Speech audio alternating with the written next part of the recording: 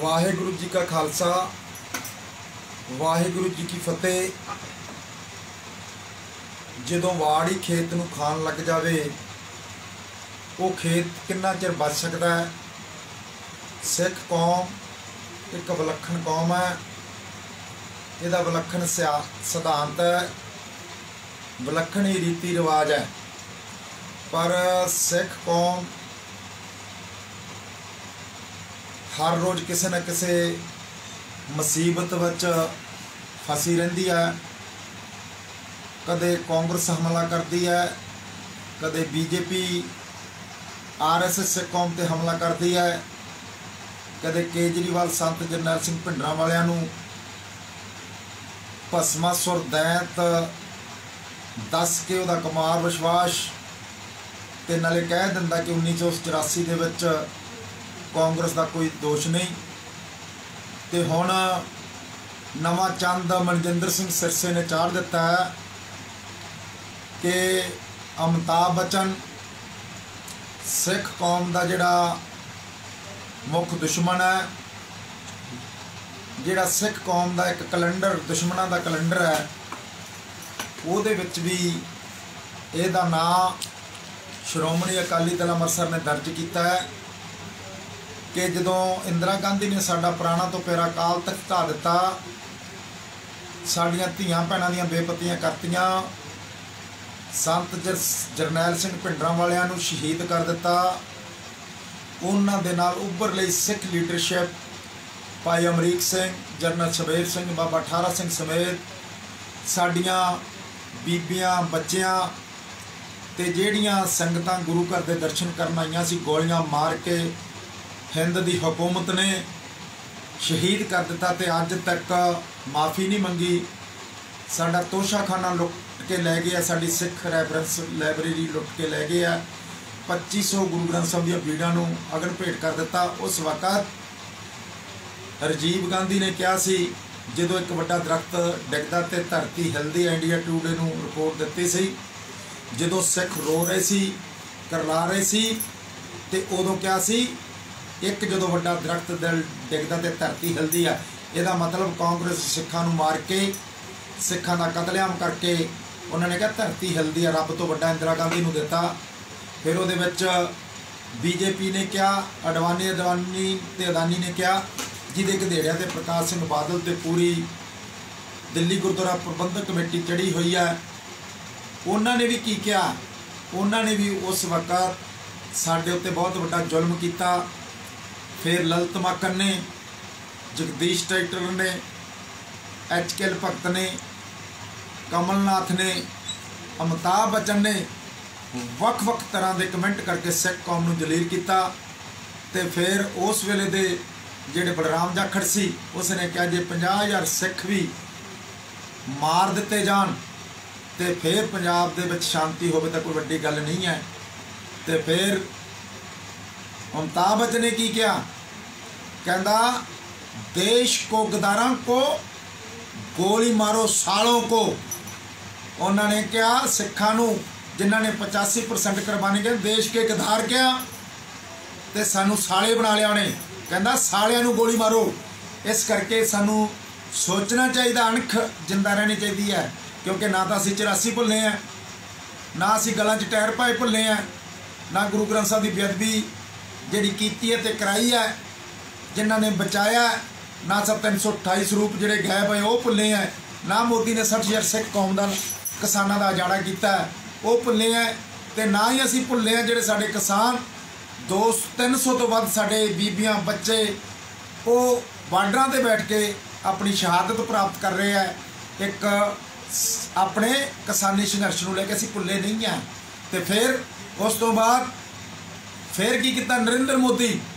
ਇੱਕ ਜ਼ਾਲਮ ਪ੍ਰਧਾਨ ਮੰਤਰੀ ਰਕਾਬਗੰਜ ਗੁਰਦੁਆਰੇ ਆ ਗਿਆ ਤੇ ਉਸ ਵੇਲੇ ਮਨਜਿੰਦਰ ਸਿੰਘ ਸਰਸਾ ਦੇ ਤਹਿਤ ਜਿਹੜਾ ਮੈਨੇਜਰ ਸੀਗਾ, ਉਹਨੂੰ ਕੀ ਦਿੱਤਾ? ਉਹਨੂੰ ਦਿੱਤਾ, ਸਰੋਪਾ ਦਿੱਤਾ। ਉਹਦੇ ਗਲ ਦੇ ਵਿੱਚ ਹਾਰ ਪਾ ਦਿੱਤਾ। ਕਹਿੰਦੇ ਸੀ, ਭੁੱਲ ਗਏ ਆ ਕਿ ਉਹਨੇ 50000 ਰੁਪਏ ਦਾ ਮੱਥਾ ਟੇਕਤਾ। ਹੁਣ ਜੇ ਭਾਈ ਕੱਲ ਨੂੰ ਜੇ ਜਗਦੀਸ਼ ਟਰੈਕਟਰ ਆ ਜੂਗਾ ਸਮੇਤ ਸਿੰਘ ਸੈਣੀ ਆ ਜੂਗਾ ਸਾਡੇ ਸਿੱਖ ਕੌਮ ਦੇ ਦੁਸ਼ਮਣ ਆ ਜਾਣਗੇ, ਅਡਵਾਨੀ ਆ ਜਾਊਗਾ, ਜਿਹਦੇ ਦੇ ਯਾਰ ਆ ਜਾਣਗੇ, ਮੁੜ ਭਾਗਵਤ ਆ ਜਾਊਗਾ, ਤੇ ਜੇ ਕੇਜਰੀਵਾਲ ਆ ਜਾਊਗਾ, ਇਹਨਾਂ ਦੀ ਟੀਮ ਆ ਜਾਊਗੀ ਜਿਨ੍ਹਾਂ ਨੇ ਸਿੱਖ ਕੌਮ ਦੇ ਹਿਰਦਿਆਂ ਨੂੰ ਬਲੁੰਦਰਿਆ ਤੇ ਫਿਰ ਤੁਸੀਂ ਭੁੱਲ ਜਾਓਗੇ, ਉਸ ਵਕਤ ਵੀ ਮਨਜਿੰਦਰ ਸਿੰਘ ਸਿਰਸਾ ਨੇ ਕੋਈ ਐਕਸ਼ਨ ਨਹੀਂ ਕੀਤਾ, ਮੋਦੀ ਨੂੰ ਸਰੂਪਾ ਦੇਤਾ। ਉਸ ਤੋਂ ਬਾਅਦ ਹੁਣ ਪਿੱਛੇ ਵੀ ਗੁਰੂ ਤੇਗ ਬਹਾਦਰ ਦੇ ਜਿਹੜਾ ਗੁਰਪੁਰਬ ਸੀ ਉਹਦੇ ਤੇ ਵੀ ਗਿਆ। ਉੱਥੇ ਕੋਈ ਬੋਲਿਆ ਹੀ ਨਹੀਂ।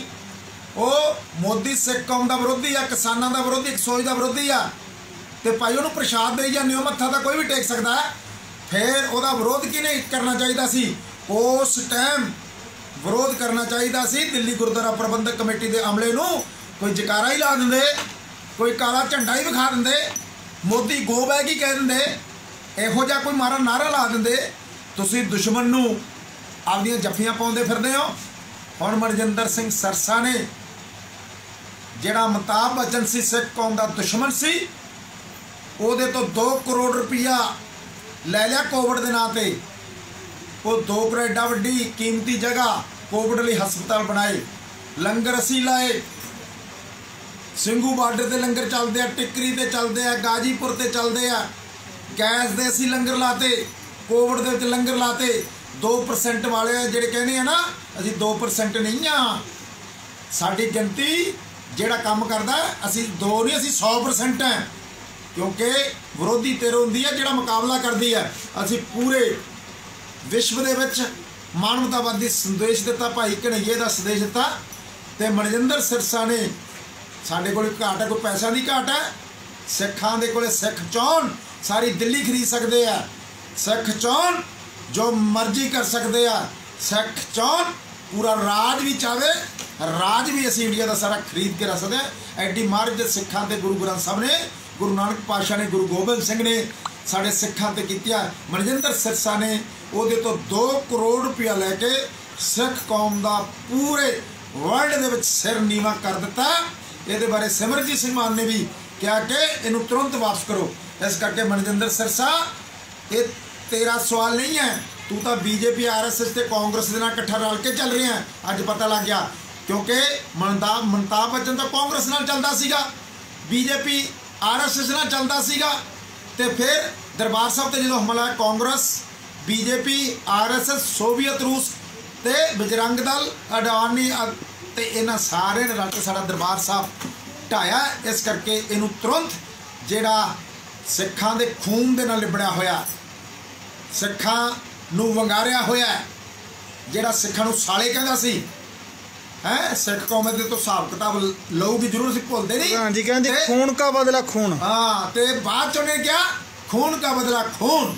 ਤੇ ਫਿਰ ਉਸ ਖੂਨ ਨਾਲ ਸਿੱਖਾਂ ਦੇ ਖੂਨ ਨਾਲ ਜਿਹਦੇ ਹੱਥ ਲਿਬੜੇ ਆ ਸਾਡੇ 84 ਦੇ ਵਿੱਚ ਗਲਾਂ 'ਚ ਜਦੋਂ ਟਾਇਰ ਪਾਏ ਤੇ ਉਦੋਂ ਕੀ ਹੋਇਆ? ਉਦੋਂ ਇਹ ਹੱਸਦੇ ਸੀ। ਇਹ ਲੱਡੂ ਵੰਡਦੇ ਸੀਗੇ। ਤੇ ਫਿਰ ਇਹ ਜਿਹੜਾ 2 ਕਰੋੜ ਰੁਪਇਆ ਸਿੱਖ ਕੌਮ ਨੂੰ ਰਿਜੈਕਟ ਕਰਦੀ ਆ, ਇਹ ਮਨਜਿੰਦਰ ਸਿੰਘ ਸਿਰਸਾ ਇਹਨੂੰ ਆਪਦੇ ਘਰੇ ਵਰਤ ਸਕਦਾ, ਆਪਣੇ ਪਰਿਵਾਰ 'ਚ ਵਰਤ ਸਕਦਾ, ਪਰ ਸਿੱਖ ਕੌਮ ਦੇ ਕਿਸੇ ਵੀ ਧਾਰਮਿਕ ਸਥਾਨ 'ਚ ਇਹ 2 ਕਰੋੜ ਰੁਪਇਆ ਨਾ ਵਰਤਿਆ ਨਾ ਵਰਤਿਆ ਜਾਵੇਗਾ। ਇਹਨੂੰ ਤੁਰੰਤ ਵਾਪਸ ਕਰ ਦੇਣਾ ਚਾਹੀਦਾ। ਪਰ ਜਿਹੋ ਜੀ ਕੋਕੋ, ਉਹ ਜਿਹੇ ਬੱਚੇ, ਪ੍ਰਕਾਸ਼ ਸਿੰਘ ਬਾਦਲ ਵੀ, ਜਿਹੜੇ ਕਮਲਨਾਥ ਨੇ, ਸਾਡਾ ਬਹੁਤ ਵੱਡਾ ਨੁਕਸਾਨ ਕੀਤਾ ਸੀ।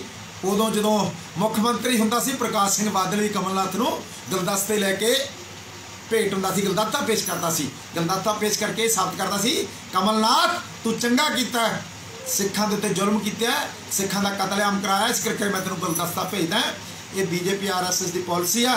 ਇਸ ਕਰਕੇ ਸ਼੍ਰੋਮਣੀ ਅਕਾਲੀ ਦਲ ਅੰਮ੍ਰਿਤਸਰ ਤੇ ਸਮੁੱਚੀ ਪਾਰਟੀ, ਇਹ ਸਿਰਸੇ ਵੱਲੋਂ 2 ਕਰੋੜ ਰੁਪਇਆ ਪ੍ਰਵਾਨਗੀ ਤੋਂ ਰੱਦ ਕਰਦੀ ਆ ਤੇ ਉਹਨਾਂ ਨੂੰ ਹਦਾਇਤ ਵੀ ਕਰਦੀ ਆ ਤੇ ਵਾਰਨਿੰਗ ਵੀ ਦਿੰਦੀ ਆ, ਤੁਰੰਤ ਇਹਨੂੰ ਵਾਪਸ ਕਰੋ ਨਹੀਂ ਤਾਂ ਸਿੱਖ ਕੌਮ ਸਰਸੇ ਦਾ ਥਾਂ ਥਾਂ ਦੇ ਵਿਰੋਧ ਕਰੇ ਕਾਲੀਆਂ ਝੰਡੀਆਂ ਨਾਲ ਵਿਰੋਧ ਕਰੇ ਕਿਉਂਕਿ ਅਸੀਂ ਇਹ ਜਿਹੜਾ ਸਿੱਖ ਤੇ ਅੱਜ ਪ੍ਰਧਾਨ ਜੀ ਆਪਣੇ- ਹੋਇਆ ਸੀਗਾ ਜਿਹੜੇ 2 ਕਰੋੜ ਰੁਪਇਆ ਸਿੱਖਾਂ ਦੇ ਖੂਨ ਨਾਲ ਲੱਥ-ਬੱਥ ਹੋਇਆ ਇਹ ਸਾਨੂੰ ਸਾਡੀ ਜ਼ਮੀਰ ਨੂੰ ਕਰਾਇਆ ਇਸ ਨੂੰ ਤੁਰੰਤ ਤੇ ਅੱਜ ਆਪਣੇ ਦਫ਼ਤਰ ਸ਼੍ਰੋਮਣੀ ਅਕਾਲੀ ਦਲ ਅੰਮ੍ਰਿਤਸਰ ਤੋਂ ਕਿਲਾ ਹਰਨਾਮ ਸਿੰਘ ਵਾਲੇ ਤੋਂ ਆਪਣੇ ਜਿਹੜੇ ਸਿਆਸੀ ਮੀਡੀਆ ਸਲਾਹਕਾਰ ਨੇ ਇਕਬਾਲ ਸਿੰਘ ਟਵਾਣਾ ਉਹਨਾਂ ਵੱਲੋਂ ਫੋਨ ਲਾਇਆ ਗਿਆ ਸੀਗਾ ਮਨਜਿੰਦਰ ਸਿੰਘ ਸਿਰਸੇ ਨੂੰ ਤੇ ਉਹਦੇ ਪੀਏ ਨੇ ਅੱਗੇ ਚੱਕ ਕੇ ਕਹਿਤਾ ਵੀ ਮਨਜਿੰਦਰ ਸਿੰਘ ਸਿਰਸਾ ਦਾ ਬਿਮਾਰ ਆ, ਉਹਦੇ ਬਾਰੇ ਤੁਹਾਡਾ ਪ੍ਰਤੀਕਰਮ ਕੀ ਹੈ ਜੀ? ਪ੍ਰਤੀਕ ਹੈ ਸਿੰਘ ਟਵਾਣਾ ਜਿਹੜੇ ਪਾਰਟੀ ਦੇ ਮੁੱਖ ਪਰਾਲੇ ਆ ਤੇ ਸਾਡੇ ਸਿਆਸੀ ਸਲਾਹਕਾਰ ਹੈ, ਇਹ ਸਮੇਂ-ਸਮੇਂ ਸਿੱਖ ਕੌਮ ਨੂੰ ਕੌਮ ਦੀ ਪਾਲਿਸੀ ਦੱਸਦੇ ਰਹਿੰਦੇ ਸਰਦਾਰ ਸਿਮਰਜੀਤ ਸਿੰਘ ਮਾਨ ਦੇ ਦਿਸ਼ਾ ਨਿਰਦੇਸ਼ਾਂ ਮੁਤਾਬਕ। ਮਨਜਿੰਦਰ ਸਿੰਘ ਸਿਰਸੇ ਨੂੰ ਫੋਨ ਲਾਇਆ, ਪੀਏ ਦਾ ਤਾਂ ਮਤਲਬ ਹੀ ਨਹੀਂ ਚੱਕਣ ਦਾ। ਫਿਰ ਉਹਨੂੰ ਗੱਲ ਕਰਨੀ ਚਾਹੀਦੀ ਇਸ ਕਰਕੇ ਉਹਦੀ ਜ਼ਮੀਰ ਮਰ ਗਈ ਆ। ਉਹ ਮਰੀ ਜ਼ਮੀਰ ਵਾਲੇ ਬੰਦੇ ਜ਼ਮੀਰ ਦੇ ਵਾਰਸਾਂ ਨਾਲ ਅੱਜ ਗੱਲ ਕਰਨਗੇ ਨਾ ਕੱਲ ਕਰ ਕਰਨਗੇ ਪਰ ਚੰਗਾ ਹੋਊਗਾ ਤੇ ਸਿਰਸੇ ਨੂੰ 2 ਕਰੋੜ ਰੁਪਇਆ ਕੌਮ ਦੇ ਦਬਾਅ ਕੌਮ ਇਸ ਨੂੰ ਨਹੀਂ ਮੰਨਦੀ ਤੁਰੰਤ ਮੋੜਨਾ ਤੇ ਇੱਕ। ਮੇਰਾ ਸਵਾਲ ਪ੍ਰਧਾਨ ਜੀ ਹੋਰ ਆ ਕਿ ਸਿੱਖ 2 ਕਰੋੜ ਰੁਪਏ 'ਚ ਆਪਣੀ ਜ਼ਮੀਰ ਵੇਚ ਦੇਣਗੇ ਵੀ 84 ਦਾ ਬਦਲਾ ਜਿਹੜਾ ਭੁੱਲ ਜਾਣਗੇ ਉਹ? ਸਿੱਖਾਂ ਨੇ ਨਾ ਜ਼ਮੀਰ ਵੇਚੀ ਆ ਨਾ ਵੇਚਣਗੇ ਤੇ ਜਿਨ੍ਹਾਂ ਦੀ ਜ਼ਮੀਰ ਵਿਕੀ ਹੋਈ ਆ ਸਿਰਸੇ ਵਾਲੇ ਦੀ ਉਹਨੂੰ ਜਗਾਉਣ ਦੀ ਕੋਸ਼ਿਸ਼ ਕਰਨਗੇ। ਧੰਨਵਾਦ ਜੀ ਵਾਹਿਗੁਰੂ ਜੀ ਕਾ ਖਾਲਸਾ ਵਾਹਿਗੁਰੂ ਜੀ